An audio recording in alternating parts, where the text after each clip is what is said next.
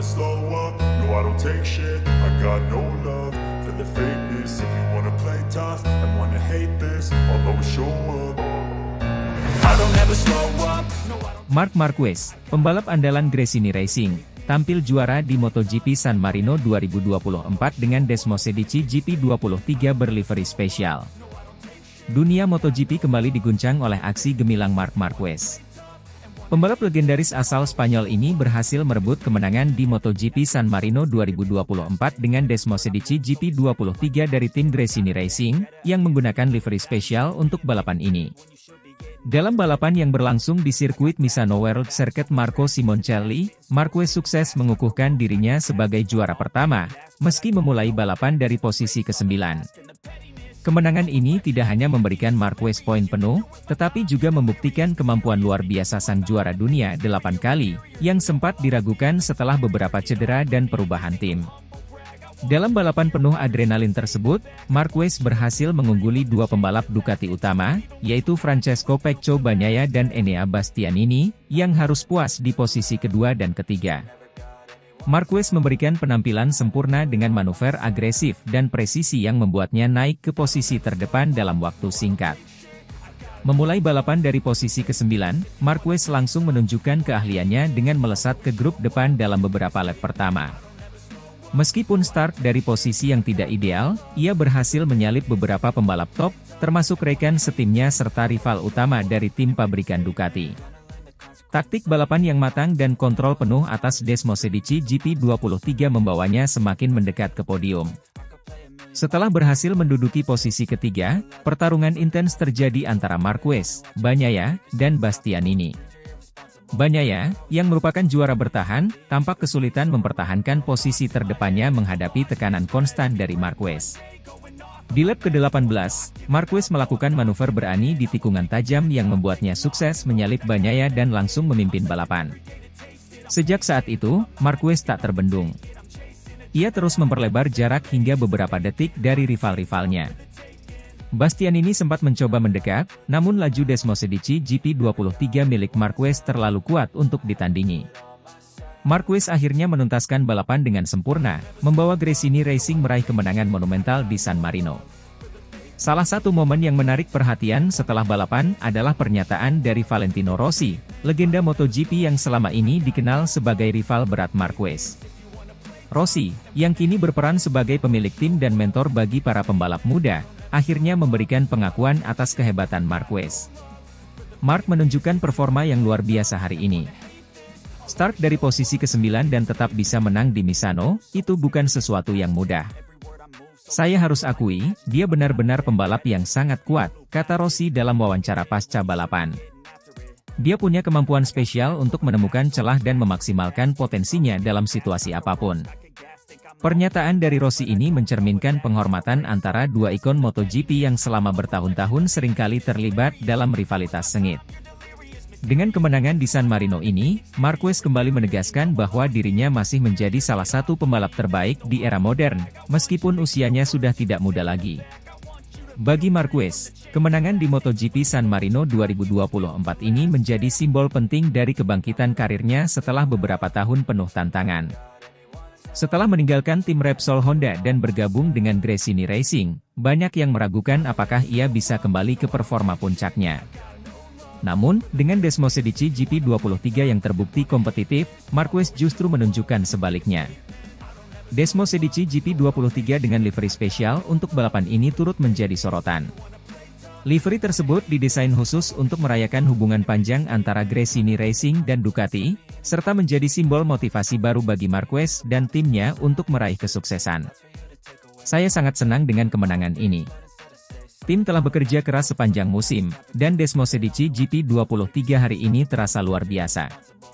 Ini adalah kemenangan yang sangat emosional bagi saya, dan saya dedikasikan untuk tim dan para penggemar yang selalu mendukung saya, ujar Marquez dalam sesi wawancara setelah balapan.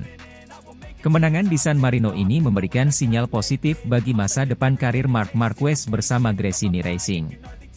Dengan kepercayaan diri yang semakin tinggi dan dukungan dari tim yang solid, Marquez tampaknya siap kembali ke puncak klasemen kejuaraan dunia MotoGP. Balapan berikutnya akan menjadi ujian apakah performa ini bisa dipertahankan, namun satu hal yang pasti, Mark Marquez masih memiliki api yang menyala di dalam dirinya untuk terus berjuang di puncak kompetisi MotoGP. Dengan pencapaian ini, MotoGP 2024 menjadi semakin menarik untuk diikuti, dan para penggemar balapan di seluruh dunia menantikan aksi-aksi spektakuler berikutnya dari sang juara.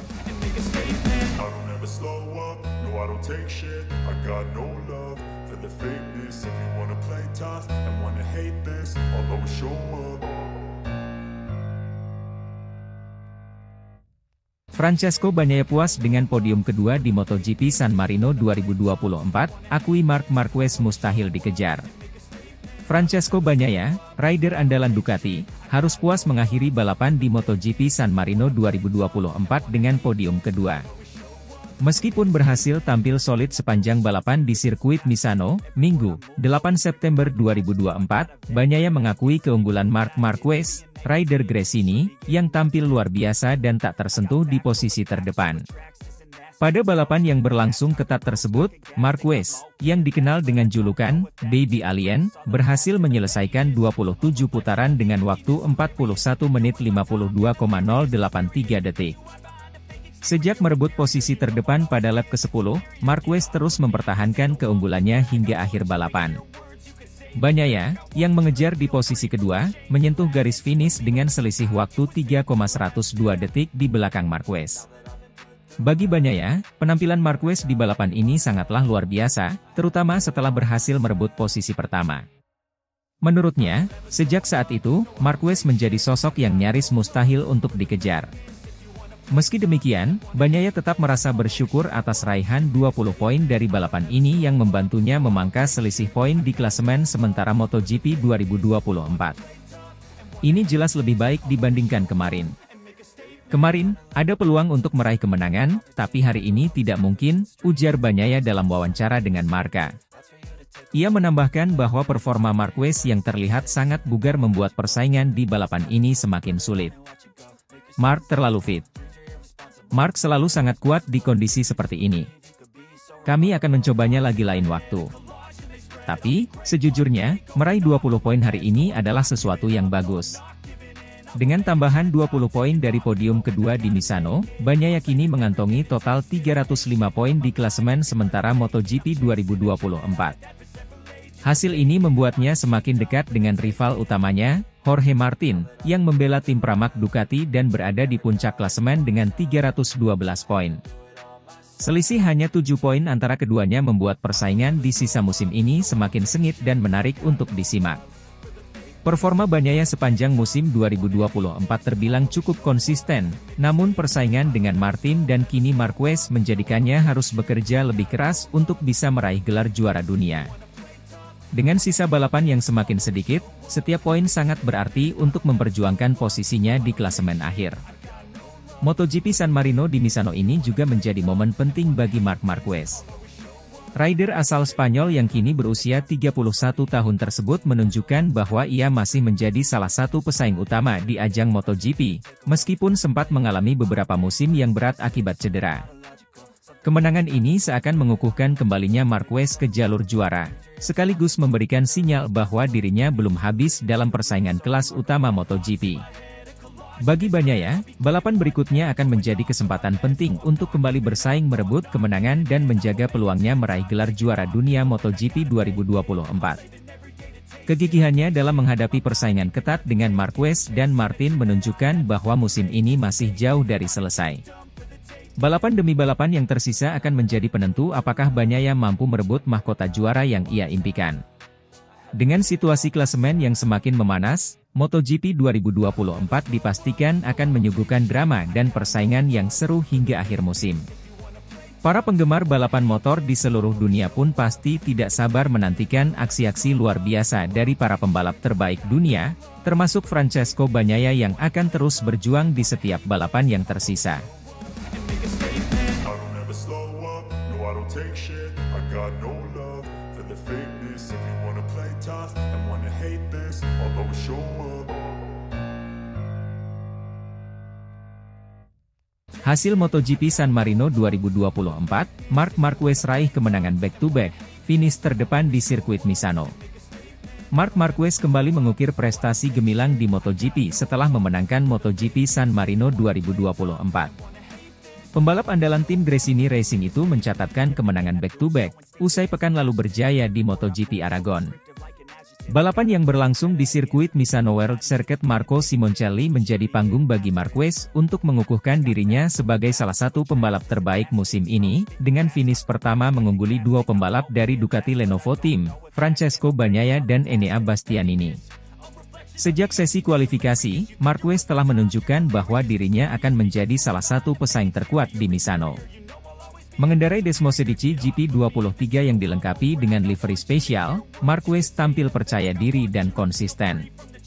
Kecepatan motor Ducati yang dipadukan dengan pengalaman serta ketangguhan fisik Marquez membuatnya tak terbendung. Dalam balapan yang digelar Minggu, 8 September 2024, Marquez memulai dengan start yang solid dan terus mempertahankan posisi di barisan depan, bahkan berhasil memimpin di lap-lap krusial. Marquez mengakui bahwa performa motor Ducati yang semakin sempurna di musim ini membuatnya semakin kompetitif. Desmo Sedici GP23 bekerja dengan luar biasa, dan tim memberikan dukungan yang maksimal. Ini adalah kemenangan yang sangat spesial, dan saya senang bisa kembali memberikan hasil terbaik untuk Gresini Racing, ujar Marquez usai balapan. Keberhasilan Mark Marquez di San Marino ini menjadi kemenangan back-to-back, -back, setelah seminggu sebelumnya ia juga finish pertama di MotoGP Aragon. Konsistensi yang ditunjukkannya dalam dua balapan berturut-turut membuatnya semakin diperhitungkan dalam persaingan gelar juara dunia MotoGP 2024.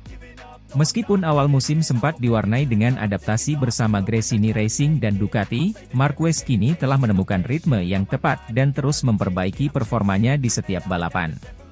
Dengan kemenangan ini, Marquez juga memperkuat posisinya dalam klasemen sementara MotoGP 2024. Ia kini menjadi ancaman serius bagi para rivalnya, termasuk Francesco Bagnaia yang merupakan juara bertahan. Dalam balapan di Misano ini, Bagnaia harus puas finish di posisi kedua, setelah gagal menandingi kecepatan dan manuver Marquez di lap-lap akhir.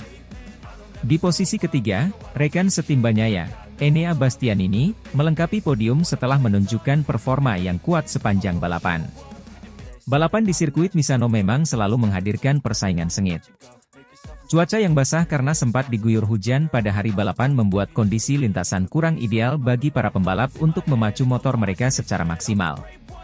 Mark Marquez yang memulai dari P9 dengan cukup baik, manuver yang sangat apik membuat Mark Marquez perlahan mampu menaklukkan para rival.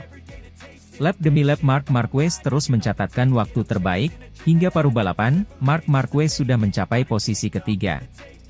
Balapan diwarnai insiden yang banyak membuat para pembalap crash. Jorge Martin, Franco Morbidelli hingga Pedro Acosta, yang tampil bagus di awal, akhirnya harus mengakhiri balapan lebih cepat. Waktu lap semakin cepat, tak terasa Mark Marquez berada di posisi lima besar, dan perlahan merangsek ke posisi tiga besar, Mark Marquez langsung terlibat dalam pertarungan ketat dengan Banyaya dan Bastianini. Beberapa kali Banyaya mencoba menyalip Marquez, namun pembalap Spanyol tersebut selalu berhasil mempertahankan posisinya.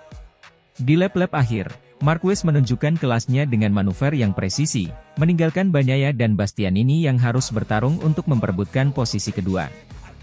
Kemenangan Marquez di San Marino ini menjadi bukti bahwa ia semakin padu dengan motor Ducati, setelah pada awal musim sempat diragukan kemampuannya untuk beradaptasi dengan cepat.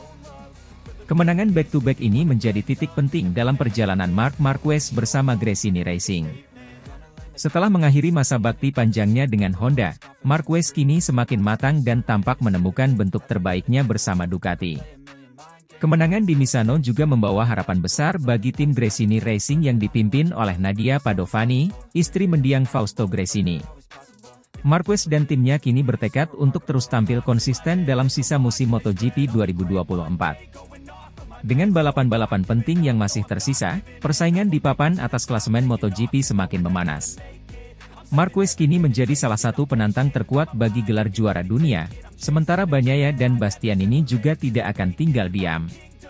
Para penggemar MotoGP di seluruh dunia kini semakin antusias menyaksikan kelanjutan persaingan sengit ini. MotoGP San Marino 2024 bukan hanya menambah koleksi kemenangan Marc Marquez, tetapi juga mempertegas kembalinya sang legenda ke puncak kompetisi, sekaligus memberikan momen istimewa bagi Gresini Racing.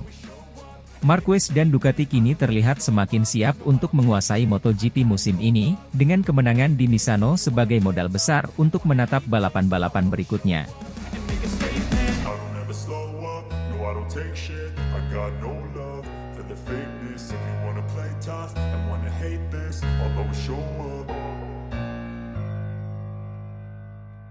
Pedro Acosta kritik aksi Mark Marquez yang rebut P5 di tikungan terakhir sprint race MotoGP San Marino 2024, kejutan di kecepatan 247 km per jam. Sprint race MotoGP San Marino 2024 tidak hanya menyajikan aksi seru dan persaingan ketat di antara para pembalap, tetapi juga diwarnai drama pada tikungan terakhir. Pedro Acosta, rookie fenomenal yang tampil impresif di kelas utama, mengkritik aksi Mark Marquez yang merebut posisi kelima di tikungan terakhir balapan. Acosta, yang tak menduga akan diovertake oleh Marquez pada kecepatan 247 km per jam di tikungan terakhir sirkuit Misano, mengungkapkan rasa terkejutnya setelah balapan dan menilai manuver Marquez sebagai aksi berisiko yang berpotensi membahayakan keduanya. Balapan di sirkuit Misano berlangsung dengan tensi tinggi, terutama dalam perebutan posisi di lap-lap akhir. Pedro Acosta, yang sebelumnya sempat berada di posisi kelima, bertarung ketat dengan Mark Marquez sepanjang balapan. Acosta sempat menunjukkan performa yang solid dan matang meski baru naik ke kelas MotoGP pada musim 2024, tetapi ia dikejutkan oleh Marquez yang menyalipnya secara agresif di tikungan terakhir dengan kecepatan tinggi. Usai balapan, Pedro Acosta tidak bisa menyembunyikan kekecewaannya atas manuver Marquez. Acosta mengakui bahwa MotoGP adalah dunia balap yang keras dan penuh persaingan ketat, tetapi ia merasa bahwa manuver Marquez di tikungan terakhir terlalu berisiko dan nyaris membahayakan keselamatan mereka berdua. Saya tidak menyangka dia akan melakukan itu di tikungan terakhir dengan kecepatan seperti itu. Di titik itu, kami sama-sama sudah hampir mencapai limit, dan tiba-tiba Mark datang dengan kecepatan 247 km per jam. Jujur, saya kaget dan merasa manuver itu sangat berisiko, tidak hanya bagi saya tapi juga bagi dirinya sendiri, kata Acosta dalam wawancara setelah balapan. Acosta, yang sebelumnya dikenal sebagai pembalap cerdik dan penuh perhitungan, mengungkapkan bahwa meski ia menghormati Marquez sebagai pembalap dengan banyak gelar juara dunia, ia berharap agar manuver-manuver semacam itu tidak dilakukan dengan cara yang dapat mengancam keselamatan sesama pembalap. Saya menghormati dia, tentu saja. Dia adalah salah satu yang terbaik. Tapi di beberapa momen, kita harus ingat bahwa keselamatan lebih penting daripada satu posisi finish, tambah Acosta. Mark Marquez, yang sudah dikenal sebagai pembalap agresif dan tak takut mengambil risiko, menanggapi kritik Acosta dengan tenang. Dalam wawancara pasca balapan, Marquez menjelaskan bahwa apa yang terjadi di tikungan terakhir adalah bagian dari strategi balapnya. Marquez mengaku bahwa ia melihat celah di tikungan tersebut dan memutuskan untuk memanfaatkannya, meski harus mengambil risiko besar. Saya melihat ada ruang, dan di balapan, ketika Anda melihat kesempatan, Anda harus mengambilnya. Saya tahu itu akan ketat, tapi saya yakin dengan kemampuan saya dan motor. Itu adalah momen yang sulit, tapi itu bagian dari balapan di level tertinggi. Saya menghormati Pedro Acosta, dia pembalap hebat, tapi ini adalah MotoGP dan setiap posisi penting, ungkap Marquez. Marquez menambahkan bahwa manuvernya sudah diperhitungkan dengan baik dan ia percaya diri bahwa ia bisa melakukannya tanpa insiden. Menurutnya, risiko seperti itu adalah hal yang wajar dalam dunia balap, terutama di kelas utama MotoGP yang penuh persaingan ketat dan tak ada ruang untuk kesalahan. Kami semua tahu risiko di lintasan, tapi saya rasa itu adalah manuver yang bersih. Kami sama-sama cepat, dan di situasi seperti ini, hanya sedikit celah yang bisa membuat perbedaan, lanjut Marquez. Reaksi dari tim masing-masing pembalap juga turut menarik perhatian. Bos Gresini Frankie Charcedi yang kini menaungi Mark Marquez setelah kembalinya ke tim, memberikan dukungan penuh terhadap manuver yang dilakukan oleh Marquez. Frankie menyebut bahwa Marquez selalu menjadi pembalap yang agresif namun cerdas, dan dia yakin apa yang dilakukan Marquez sepenuhnya legal dan dalam batas-batas fair play balap. Mark selalu balapan dengan penuh determinasi. Dia tahu kapan harus mengambil risiko dan kapan harus bermain aman.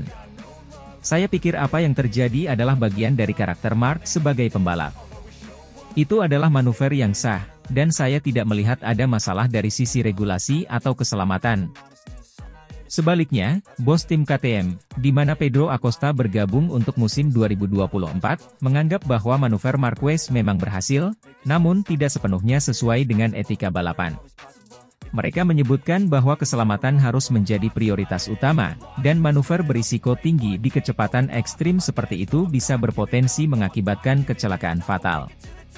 Apa yang dilakukan Mark memang berhasil kali ini, tapi di situasi lain, mungkin bisa berakhir dengan sangat buruk. Kami berharap setiap pembalap, terutama yang berpengalaman, bisa lebih mempertimbangkan keselamatan, terutama di tikungan-tikungan seperti itu dengan kecepatan yang luar biasa tinggi, ujar menir tim KTM. Momen ini juga memperlihatkan betapa ketatnya persaingan di kelas utama MotoGP, terutama antara generasi baru dan veteran seperti Marc Marquez. Pedro Acosta, yang baru menjalani musim debutnya, langsung tampil impresif dengan sering kali bersaing di barisan depan, tetapi berhadapan dengan nama besar seperti Marquez selalu membawa tantangan tersendiri. Persaingan ini juga memperlihatkan bahwa MotoGP 2024 tidak hanya tentang kecepatan, tetapi juga tentang strategi, keberanian, dan manuver di saat-saat genting. Bagi Acosta, meski ia harus merelakan posisi kelima kepada Marquez di tikungan terakhir, Penampilan solidnya sepanjang balapan menjadi bukti bahwa ia siap bersaing di level tertinggi. Sedangkan bagi Marquez, aksi ini menegaskan bahwa dirinya masih memiliki naluri balap yang tajam meski telah berkali-kali mengalami cedera dan perubahan tim. Acosta dan Marquez kini sama-sama menatap balapan berikutnya dengan harapan bisa tampil lebih baik lagi.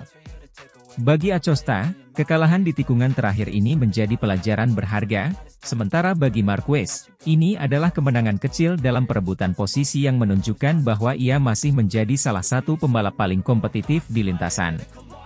Tikungan terakhir sprint race San Marino 2024 akan dikenang sebagai salah satu momen paling menarik musim ini, terutama dalam rivalitas antara Pedro Acosta dan Marc Marquez. Meskipun ada kritik yang dilontarkan, keduanya menunjukkan semangat juang yang tinggi dan memperlihatkan betapa ketatnya persaingan di dunia MotoGP. Balapan-balapan berikutnya diharapkan akan terus menyajikan aksi-aksi dramatis seperti ini, di mana setiap tikungan dan setiap celah bisa menjadi penentu kemenangan atau kekalahan. Bagi Acosta, balapan ini mungkin meninggalkan rasa kecewa, tetapi juga memacu semangatnya untuk lebih agresif dan waspada di masa depan. Bagi Marquez, ini adalah kemenangan kecil yang menegaskan bahwa ia masih menjadi salah satu raja di lintasan MotoGP.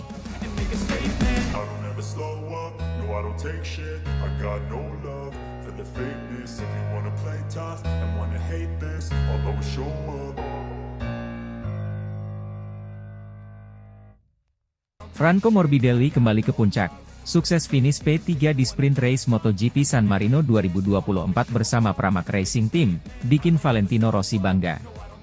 Franco Morbidelli, pembalap Pramac Racing Team, kembali menorehkan prestasi luar biasa di ajang MotoGP San Marino 2024 dengan berhasil finish di posisi ketiga dalam sprint race. Kemenangan ini menandai kebangkitan Morbidelli setelah melalui musim-musim yang menantang. Prestasinya kali ini tidak hanya membuktikan bahwa dirinya masih menjadi salah satu pembalap papan atas, tetapi juga memberikan kebanggaan tersendiri bagi sang mentor, Valentino Rossi. Setelah beberapa musim yang penuh dengan perjuangan, Morbidelli akhirnya kembali menunjukkan tajinya sebagai salah satu pembalap berbakat di MotoGP. Pencapaiannya di posisi ketiga pada sprint race di sirkuit Misano adalah hasil dari kerja keras dan dedikasi yang tidak kenal lelah.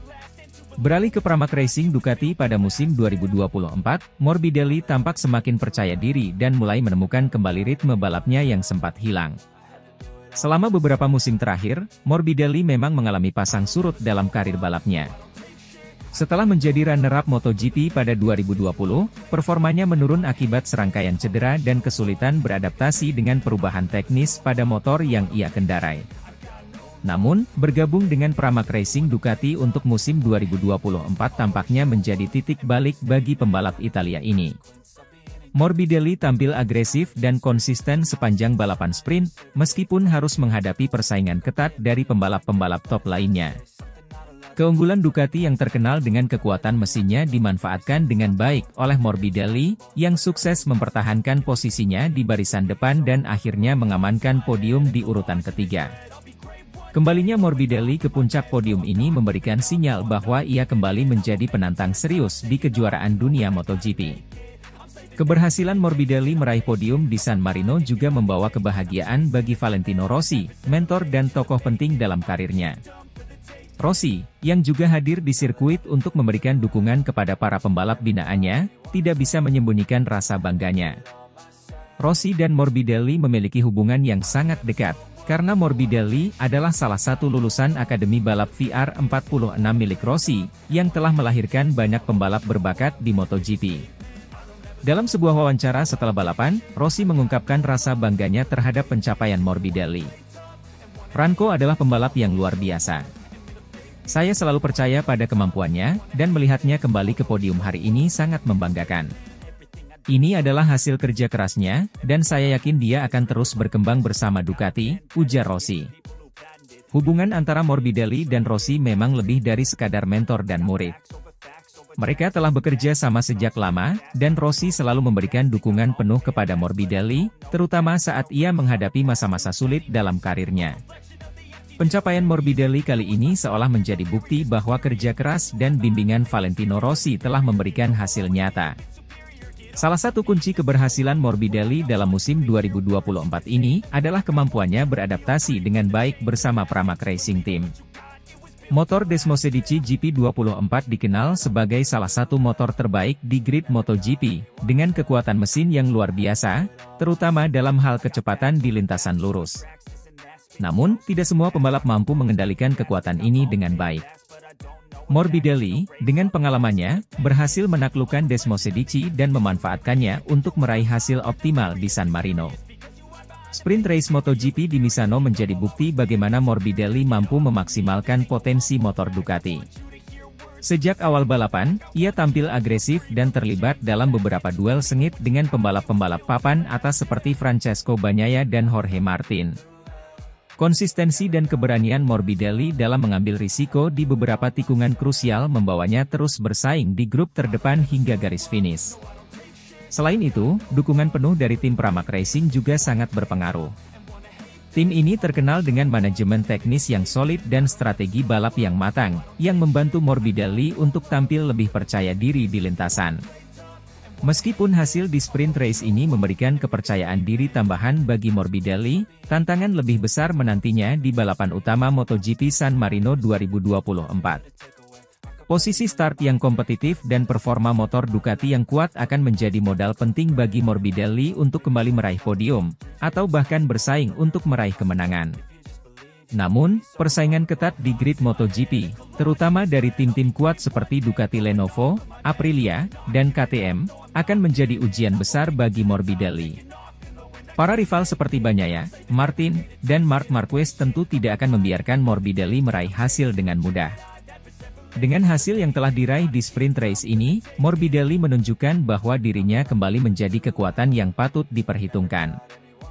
Fans MotoGP akan menantikan aksi berikutnya dari Franco Morbidelli di balapan utama, serta bagaimana ia akan terus melanjutkan momentum positifnya di sisa musim 2024. Satu hal yang pasti, keberhasilannya di San Marino telah memberikan angin segar bagi karir Morbidelli, dan tentu saja membuat sang legenda, Valentino Rossi, merasa bangga atas pencapaian muridnya ini.